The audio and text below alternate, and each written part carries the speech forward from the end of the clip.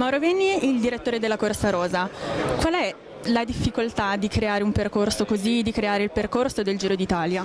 Ma, eh, sono diversi fattori che contribuiscono a fare un giro, chiaramente l'aspetto tecnico è fondamentale, quindi dare equilibrio alla corsa e poi soprattutto cercare di inserire nei fine settimana eh, momenti importanti dal punto di vista sportivo per tenere alta l'attenzione della gente davanti ai televisori o sulle strade del giro. Qual è l'emozione di partire fuori dall'Europa a Gerusalemme e di arrivare a Roma? Ma è un processo che è iniziato tanti anni fa, è un processo di internazionalizzazione del giro, per noi Gerusalemme e in particolare Israele ha rappresentato un punto di arrivo e soprattutto abbiamo l'immenso piacere di essere stati i primi a esportare un grande giro fuori dall'Europa.